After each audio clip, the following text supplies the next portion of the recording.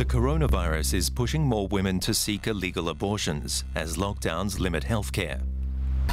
There are 25 million unsafe abortions every year, almost half all terminations worldwide. And now the pandemic is eroding hopes of progress.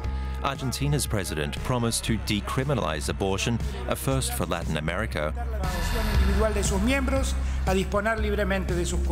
But the outbreak has put the reform on hold indefinitely. Colombia was also close to legalizing abortion. Instead, a top court has ruled against it.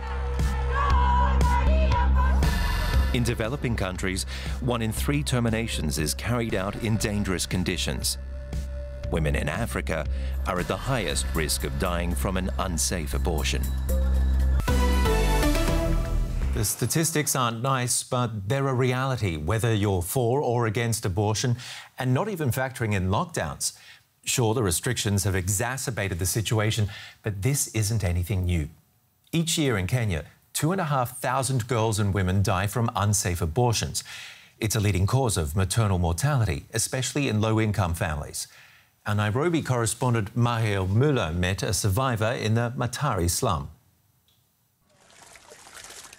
We call her Mercy, but that's not her real name. She was 16 when she fell pregnant. Her mother wanted her to finish school, so she forced Mercy to abort the baby. For fear of repercussions, she hides her face. I went to a local medicine man. I stayed there for three days. He gave me herbal medicine and I took it. On the second day, I started seeing blood. I was very afraid. There are people who abort and they seem fine. I thought I would die. It's estimated that in Kenya, seven women die each day from unsafe abortions. Abortions are illegal unless the mother's life or health is in danger or if there's a rape case. That's why women come to this man. He's well known for carrying out abortions, along with other procedures, even though he has no medical training. Mercy came here too. She paid the equivalent of 8 euros for the abortion. In the interview, however, he denies performing abortions. But still, he wants to hide his identity. They're given an injection, a drug, and they're sent home so that the pregnancy can terminate there. Many of these women die. If they're unlucky, they do die. If they're lucky, the pregnancy terminates safely. It's usually bad, however.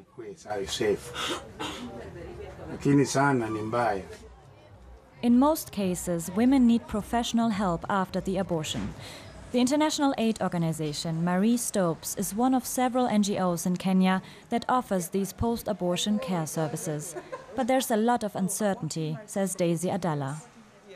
We don't have clear guidelines, national guidelines, on managing these post abortion care services or even safe abortion services.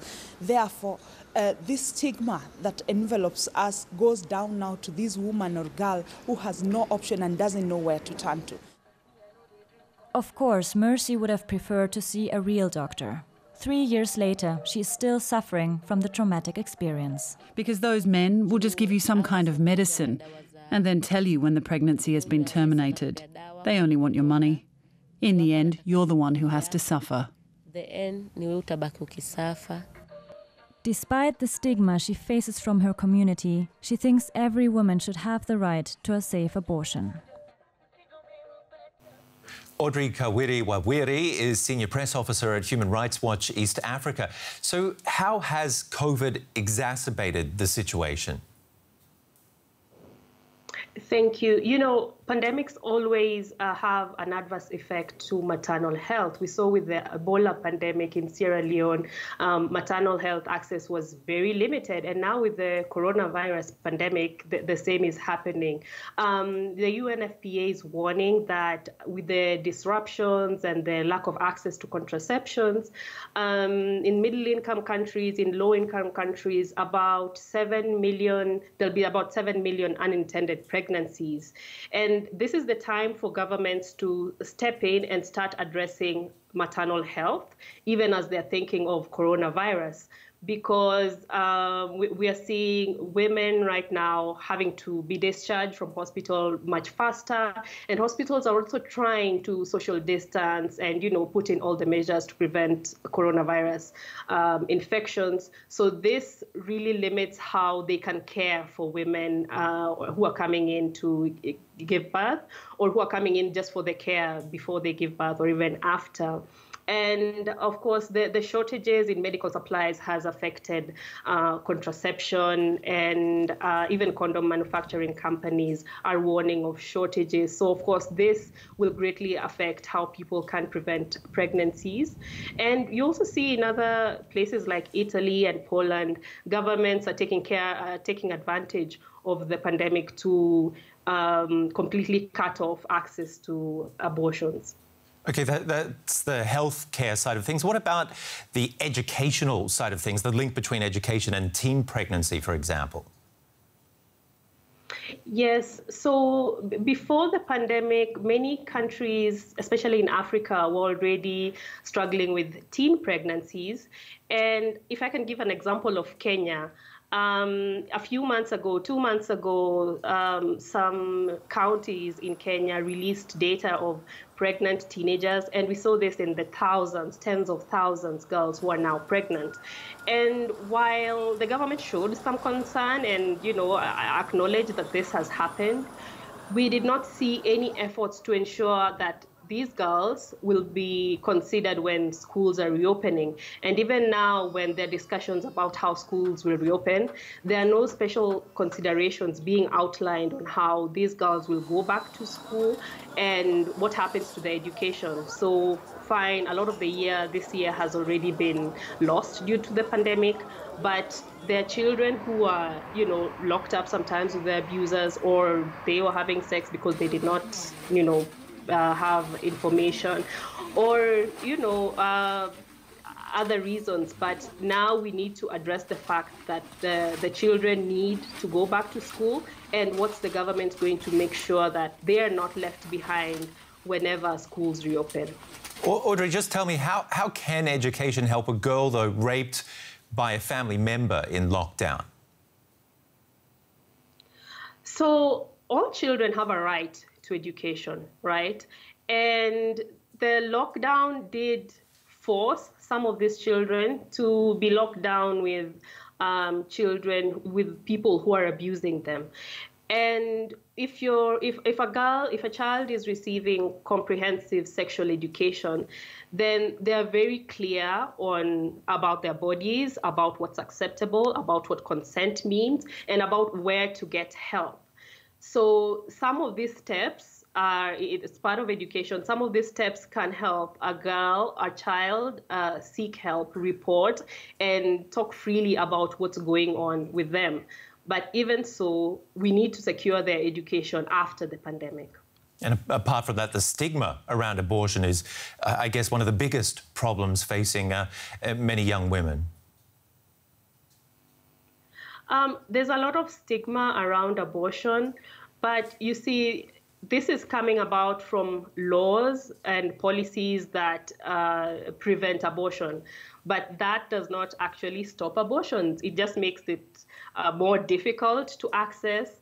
Therefore, the people who are seeking abortions are not getting them from qualified uh, healthcare faci- uh, healthcare providers, and so when they do procure the abortion, it's unsafe, and and people do see uh, others suffering. Um, bleeding so much or even losing their lives. So this just perpetuates mm. the stigma.